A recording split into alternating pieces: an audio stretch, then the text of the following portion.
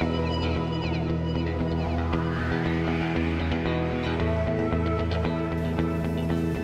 I'm Dinah Zike, and I'd like to tell you a little bit about what we have going on at the Dinah Zike Academy this summer.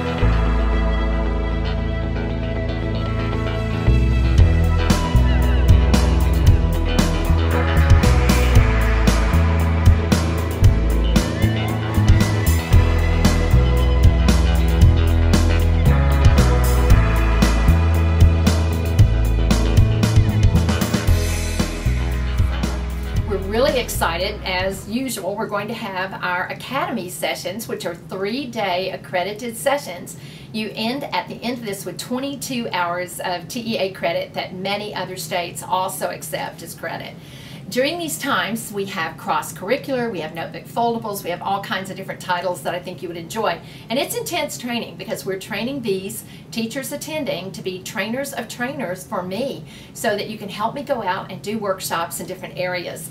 So please look into that. I think it might be something you'd be interested in. But this year, we also have something special that we're offering, and that's focus groups. And the focus groups are 10 hours of credit, and they take place on a Friday night to a Saturday. So we did that just in case some of you wanted to come for an academy session, which would be a Tuesday through a Thursday, and then stay and do the Friday, Saturday uh, focus session. So you could actually get 32 hours of credit over a seven day period here with us and it's a lot of fun. I've got to tell you, the Academy building is this gigantic building. It's the size of a Walmart. We have an upstairs auditorium and we have downstairs different areas where the teachers work and you can see actual materials put together by students and other teachers.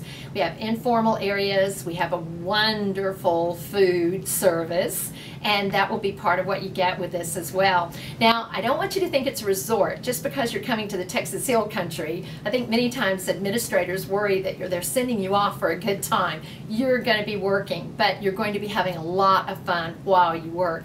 Many times we have to run the teachers out of the building at the end of the day, and sometimes that's 9 o'clock at night before they're actually willing to leave. So you don't have to stay that long, but if you want to, we're willing to stay and to help you many evenings, even later hours.